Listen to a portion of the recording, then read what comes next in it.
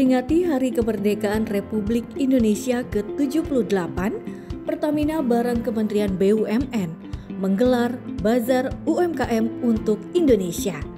Bazar yang digelar di Sarina dari tanggal 11 sampai 14 Agustus ini menghadirkan beragam produk UMKM.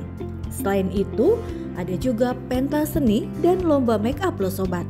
Mau tahu gimana komentar para pelaku UMKM yang terlibat di bazar ini? Kegiatan ini saya udah yang kedua kali dari Pertamina diajak untuk padi UMKM.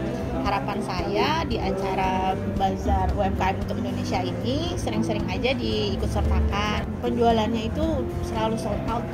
Seneng banget sih soalnya buat saya kami UKM ini memang yang dibutuhkan adalah pemasarannya. Itu bisa membuat kita juga branding, kita bisa memperkenalkan produk-produk kita secara langsung dan juga meningkatkan omset.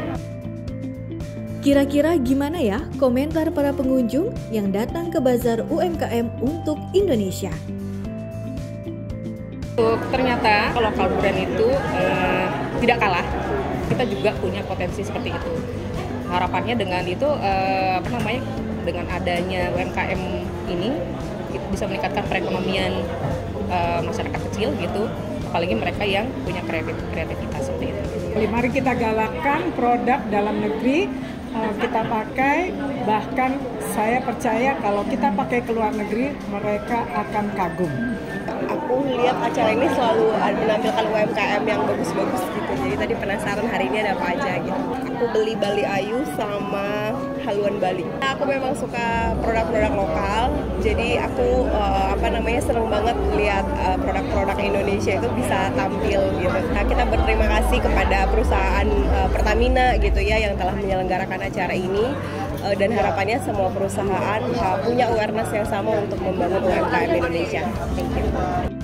Nah sobat, serukan Bazar UMKM yang diadakan oleh Pertamina di Sarina. Mumpung masih berlangsung, yuk serbu acaranya dan sama-sama kita dorong produk lokal makin dikenal dunia.